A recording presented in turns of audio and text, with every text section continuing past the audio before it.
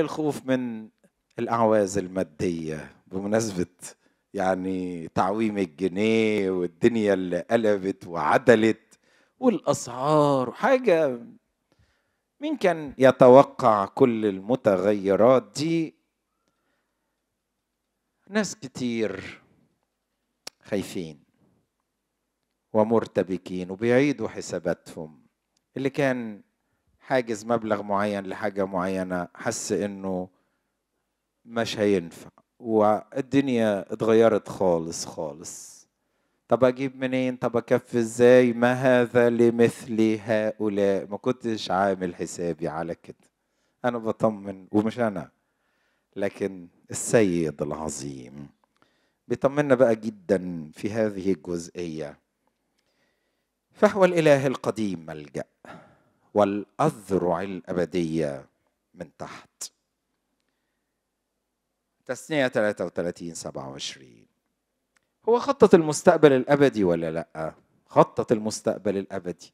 وتخطيط المستقبل وضمان المستقبل الأبدي ده كان مكلف جدا. إن المسيح يروح للصليب ويموت ويقوم.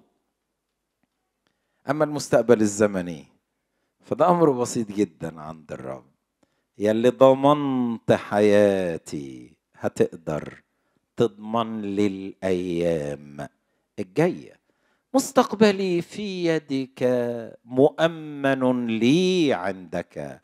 على الاتي أشكرك ففيك ثقتي. والمستقبل كله لديك مضمون فيه الخير وياك. أنا لست أعلم ما قد يكون في غدي. ولا أعلم كم سيطول العمر بي.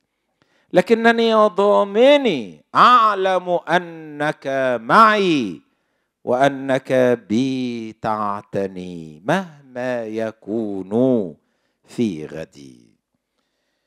مفيش مجال إننا نقلق أو نرتبك. رب كان شايف إن في مجاعة هتيجي. ووسط كل الأرض في عيلة غالية. فأرسل أمامهم رجلا. قبل المجاعة بعشرين سنة.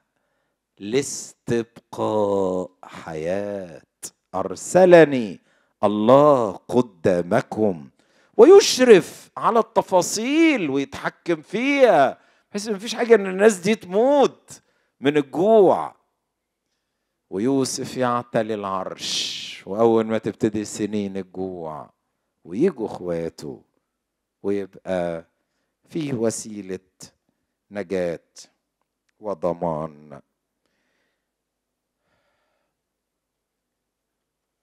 لما بص على الأمثلة اللي اللي قريناها في الأصحاح دوت بصوا على العصافير. العصافير. أليست خمسة عصافير تباع بفلسين وواحد منها ليس منسيا أمام الله.